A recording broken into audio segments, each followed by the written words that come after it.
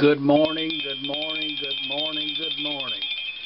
School is in session.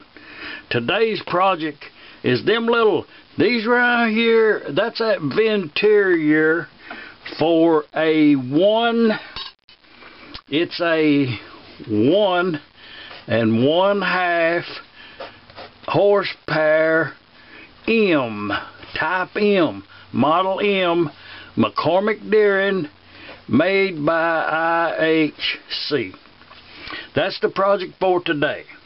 Is a venturi to go right in yonder. And if you if you see that depth right there and just a regular old giveaway scale, it's uh, it's 3 sixteenths deep.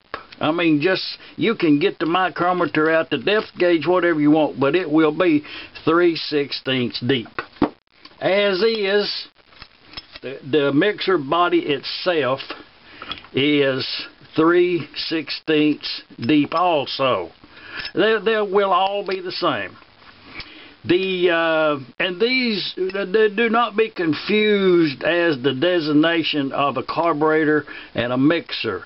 It's really hard to get these M's to run slow because they don't they don't have an idle circuit in there. It's just that one you get it or you don't. We're, we're going to make some needle valves. We're going to make some siphons. We're going to make some uh, uh, just assorted parts for this engine. We need and and the reason we're on this today is I need about 20 of these. And, and I'll just a couple examples. With let's talk about them on the get-go, and then we'll carry on with it. But I made this right here some years ago, and if y'all see that that that taper in there, I actually, uh, that that is a rounding shape in there. It was one of them hot rod engines I built, and that was uh, to kind of, it was a fugal attempt at uh, tuning up a mixer. And this one, that's uh, just a good example of something that I made years ago. And that's what we're making today, these venturis.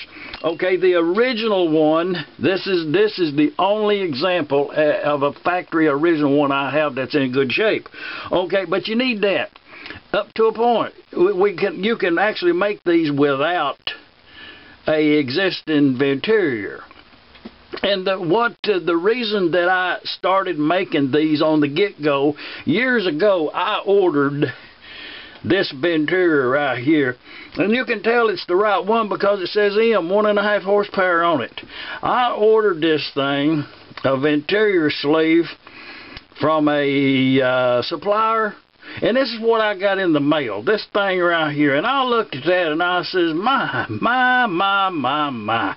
You know, what was, uh, it was, it, uh, well, you see what I think about it. Just have a good life and throw it aside as an example of what not to do. Do not do this right here or this. Do not do this. This was actually in a engine that I purchased some time ago. And all it is is a piece of aluminum pipe cut off to length.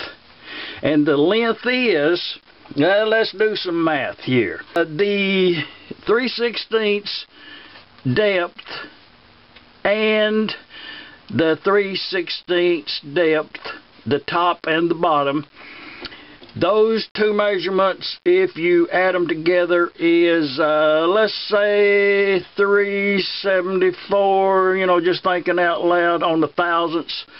Okay, that's that's the if you put the top on the if you put the top on the on the housing. Now let's get one over here. The housing here, the the main body and the top. If you put them together with no gasket, okay, that will be that dimension will be 374. Okay, let's assume that the gaskets that I use are 35 thousandths. And 0.035, 30 thousandths. Okay, and you add all that together, what do you, what do you get there, 409?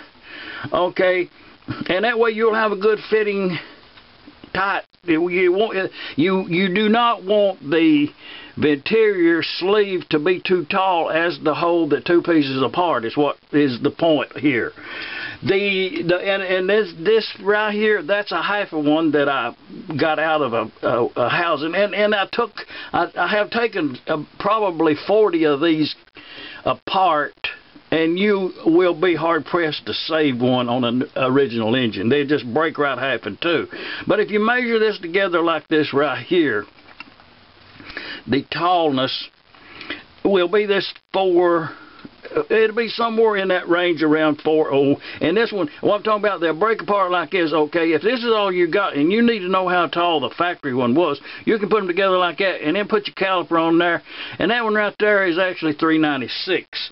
Uh, the other one right here, that's, so uh, I tend to build them somewhere, and the one that I did order, it's, um, it's 406 uh, which is in the ballpark. It's it's one inch on the outside diameter. So actually, it's a couple thousand smaller because that's what the hole is in yonder. And that and that right there is one inch. Uh, if you make it a couple of thousand smaller, it will fit in there, taking rust in consideration.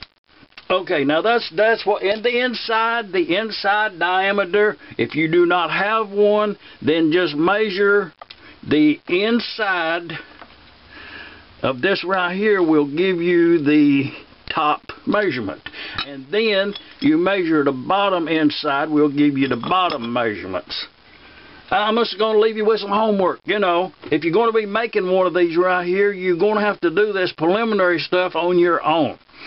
The what I'm going to make them out of is uh, uh was some time ago I disassembled a old junk coin operated Pepsi machine and, and there was about oh there was several of these pieces of aluminum. There was standoffs in there and it's a real high grade close grain aluminum whatever they are. I found these to be really good material to build these venturi sleeves out of. And the larger larger horsepower you just increase the size to whatever size the mixer is. You can do your own math on that so we're going to set all of this aside and get on with the project. So we it's kind of like a production. It gets real easy after you made one or two. It's that first one that you do the the uh, blueprint. Once you get that, you got her going. Let's get on with the uh, project.